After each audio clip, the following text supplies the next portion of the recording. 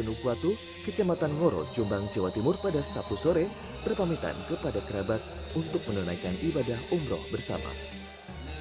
35 warga menunaikan ibadah umroh bersama setelah berhasil mengumpulkan uang yang ditabung sejak tahun 2018 silam. Salah satu jemaah umroh mengaku senang bisa berangkat ke Tanah Suci bersama tetangga serta kerabatnya.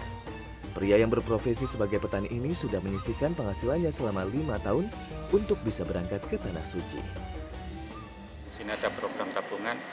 Tahun kemarin saya belum bisa mengikuti. Alhamdulillah, ini baru kali ini saya bisa mengikuti. Nabungnya berapa-berapa?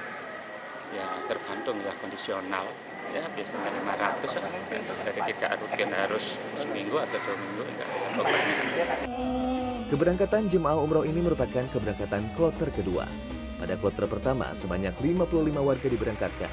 Tercatat ada ratusan lebih warga yang masih antre untuk bisa menunaikan ibadah umroh bersama-sama.